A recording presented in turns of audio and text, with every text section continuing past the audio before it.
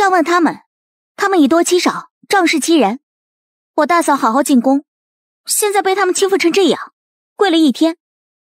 北武帝看着他像小狮子一样暴躁的发怒，只觉得头皮发麻。那还不快传太医？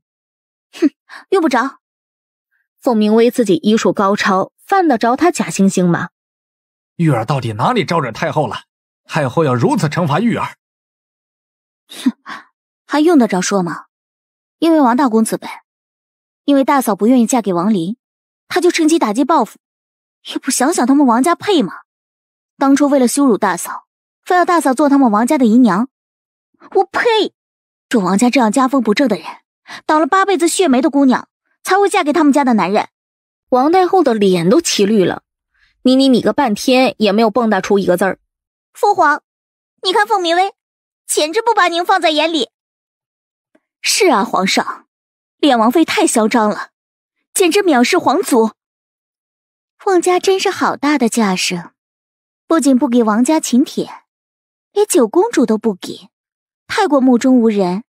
不仅如此，他们还打伤了我大哥，如此放肆，如此目中无人，罪不可赦。都闭嘴！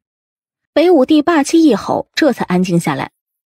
哼，要说目中无人、罪不可赦的，可不是本郡主，是你，沈秋月心思恶毒，谋害八公主。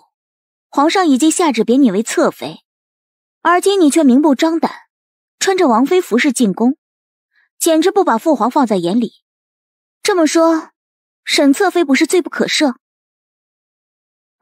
父皇，这不是王妃的服饰。还有你，王大小姐，你更是罪不可赦，竟然敢欺君！你胡说，本郡主胡说，你口口声声说。本郡主打伤王林，却没有说王林先徇私枉法。身为金兆府少爷，假公济私，昨天带着人在凤府门口先动手。你故意不告诉父皇，混淆视听，还想利用父皇对付我们凤家，不是欺君又是什么？皇上冤枉啊！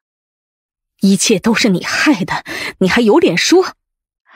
那叶太后的意思？他们就算杀了我，我也得伸出脖子让他们砍，是吗？